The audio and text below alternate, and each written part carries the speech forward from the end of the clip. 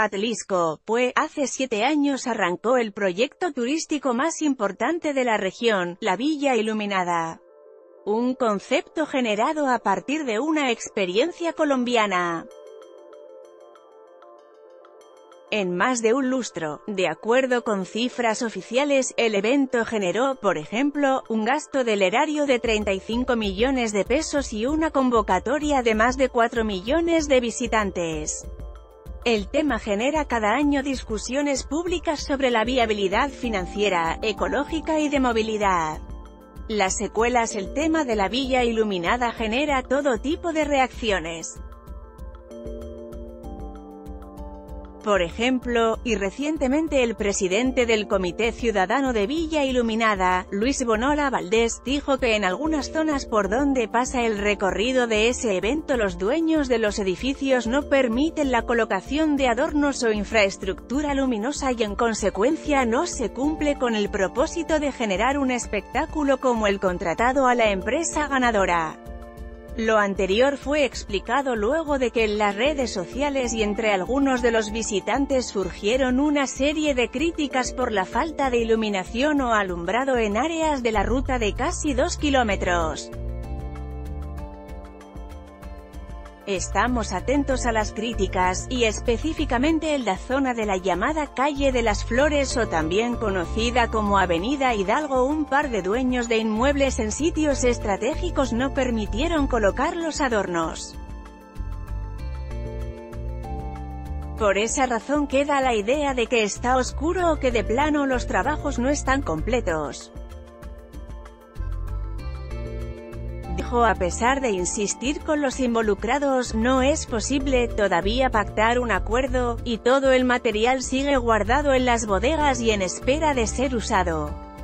Bonola sostuvo en caso de no existir un acuerdo, ese material sería usado en otras partes del centro de Atlisco en donde, literalmente a gritos piden los ayudemos a generar turismo con la iluminación de sus fachadas. Y un caso es la 3 Sur. La comida pambazos en 50 pesos cada uno y 150 más por una sincronizada y un litro de agua son algunos de los precios denunciados por visitantes a la villa iluminada.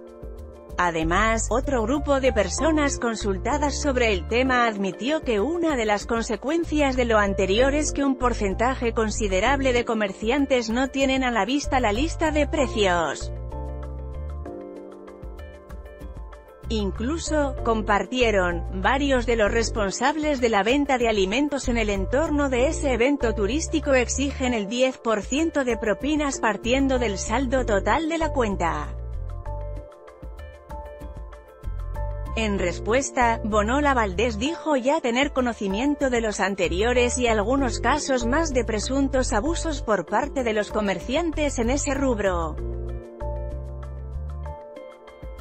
Cabe mencionar, a diferencia del año pasado el costo de cada uno de los stands en el área de comidas en la colonia Revolución, donde ocurrieron los problemas con el abuso de precios, subió de 2.500 a casi 4.000 pesos.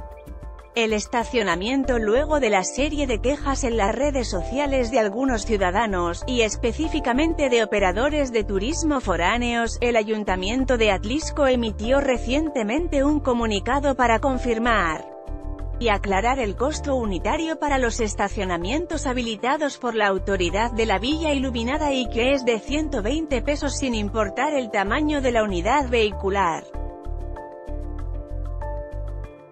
El funcionario pidió a los atliscuenses usar los estacionamientos locales para ayudar a la economía local.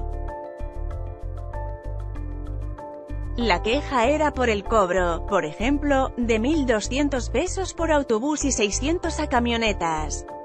Más de 750.000 personas llegarían en los próximos 40 días a Atlisco para disfrutar de la villa iluminada.